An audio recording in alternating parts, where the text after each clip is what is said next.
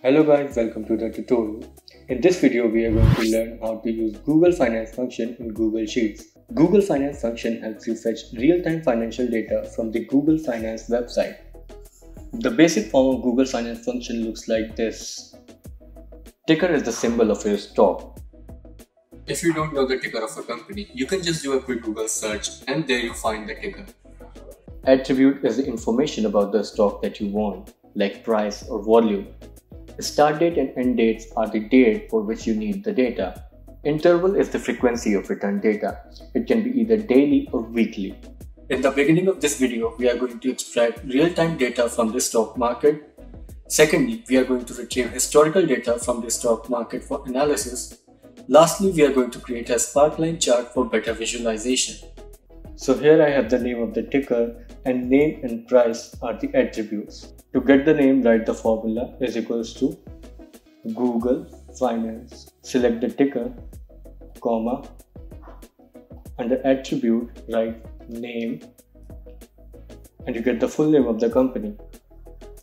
To get the price, write formula is equals to Google Finance. Select the ticker, comma, write the attribute, price, and you get the latest price of the stock.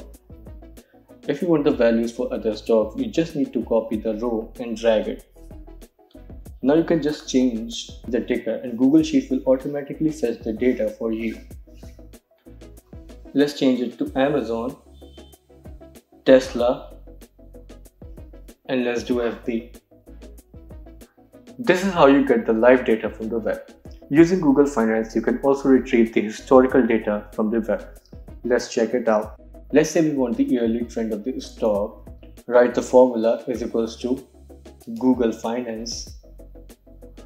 Select the ticker. Write the attribute price, comma. Now to input date, we will use the date function, date. Input the date. Input the start date comma again input the end date bracket close and enter. Now you have two columns one for date and another for price. So this is how you get historical data for the stocks. Historical data is useful for analysis and visualization. Let's see how to do that. Here I have extracted the price data for last year of Apple stock just as we did in the previous section we are going to use a sparkline function to create the chart, so we only need the values of price column. To do that, we'll use index function. Write index, comma, comma 2, enter. Now as we only have price, we can use a sparkline function. Type a sparkline and put the entire thing into a sparkline function and you get the yearly trend of the Apple stock.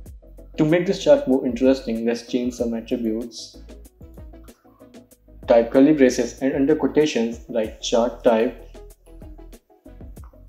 We will change chart type to column, semicolon and color